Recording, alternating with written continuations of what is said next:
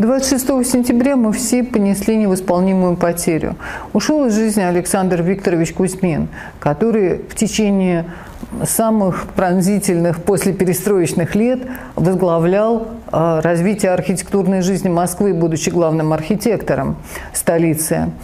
И он уверенной рукой направлял корабль городского развития в штормящем море между рифов и подводных камней и скал.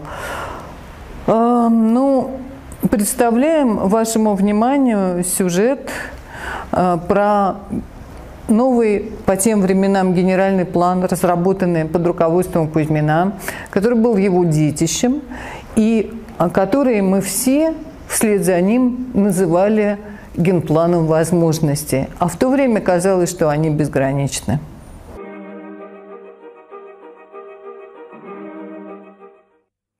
Новый генеральный план архитектурного развития столицы, в отличие от предыдущих, не должен стать поворотным событием в жизни Москвы. Его основная цель – не навредить городу, сохранить исчезающую у нас на глазах историческую застройку. И так разработан документ, который определит тактику и стратегию развития Москвы в третьем тысячелетии. Юрий Лужков рассмотрел новый генеральный план Москвы, подготовленный Москвом архитектурой. Теперь генплан должен быть одобрен Московской городской думой, после чего он станет законом. Это третий генеральный план города в 20 веке. Первый был принят в 1935 году. По нему сносилась Москва Золотоглавая и строилась Москва Сталинская. Второй в 1971 году. По нему Москва превращалась в образцовый социалистический город путем выселения людей из центров в спальные районы, отличавшиеся чрезвычайной лаконичностью архитектурных средств.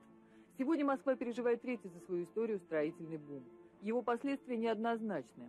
Город вернул часть того, что утратил, и стал удобнее для жизни. Но в нем появились помпезные комплексы и монументы, не всегда удачные с точки зрения вкуса, которые на некоторое время стали символами новой Москвы.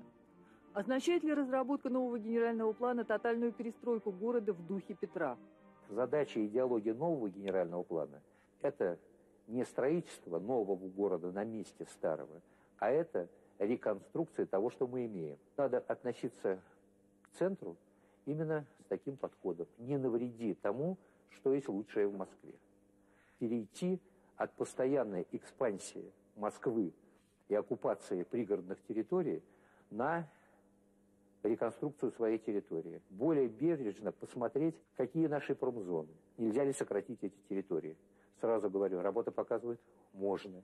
И вот, проработав зону отчуждения, хорошее название, зона отчуждения Малого кольца железной дороги, мы проложили там новую транспортную магистраль.